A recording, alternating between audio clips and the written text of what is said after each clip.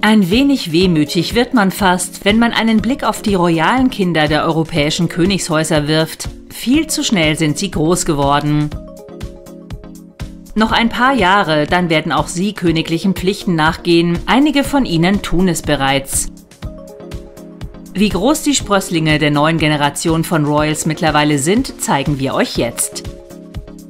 Kaum zu glauben, aber Prinzessin Leonor und Sophia von Spanien haben sich in den letzten paar Jahren extrem verwandelt. Heute sind die Töchter von König Philippe und Königin Letizia zu hübschen jungen Damen herangewachsen.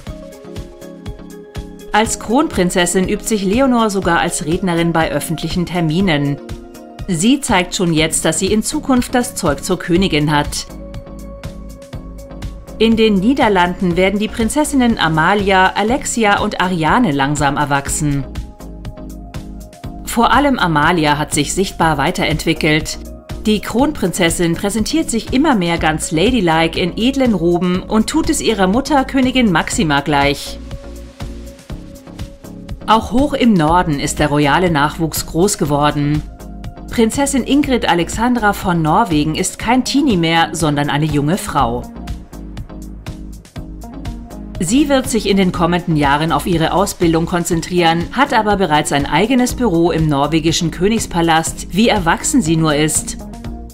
Ihr jüngerer Bruder Prinz Sverre Magnus ist so gewachsen, dass man ihn fast nicht wiedererkennt.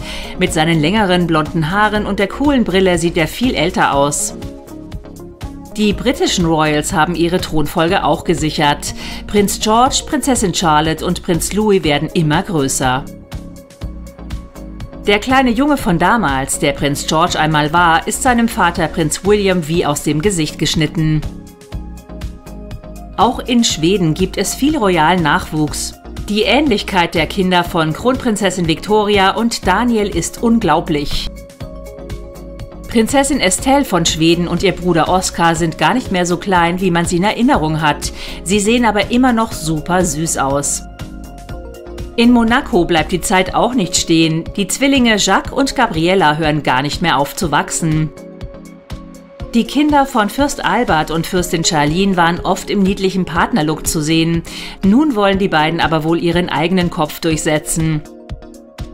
Prinz Christian zu Dänemark ist der Sohn von Kronprinz Frederik und Mary zu Dänemark.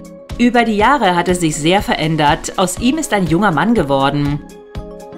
Seine Geschwister Prinzessin Isabella, Prinzessin Josephine und Prinz Vincent haben es ihm gleich getan und sind richtig groß geworden.